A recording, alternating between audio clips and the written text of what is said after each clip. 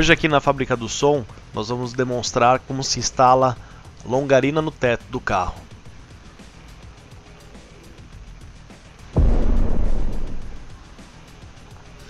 Primeiro é feito as medições para saber qual a posição ideal e certa que vai ficar a longarina. Cada carro tem uma posição. Para que a longarina não saia da posição já marcada, nós fixamos a longarina com a fita crepe.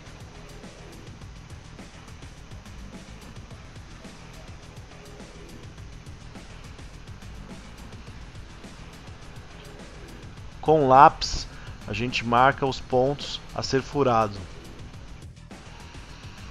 E usamos a furadeira para fazer os buracos. Notem que na furadeira a gente usa um calço justamente para a broca não passar do forro do teto. Após isso a gente coloca as buchas e preparamos o teto para a embuchadeira.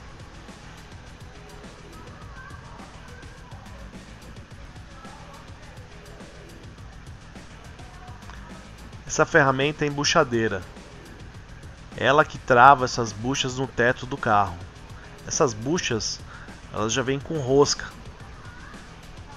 E aí ela travada no teto é só instalar a longarina e parafusar. Na hora da instalação da, das buchas é muito importante que você não aperte muito para não passar do ponto. Aí está instaladinha.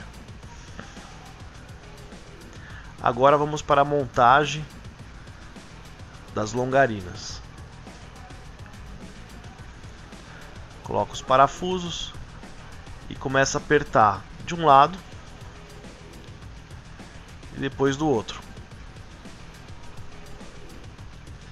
O ideal é sempre que você intercale. Primeiro aperta um do lado esquerdo, do lado direito, depois outro do lado esquerdo, do lado direito. E para encerrar, a gente coloca a capinha para dar o acabamento e está pronta a instalação da longarina.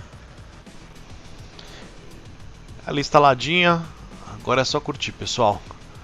Levar sua prancha, você pode colocar também as travessas e sair de rolê aí com o carrão bonitão.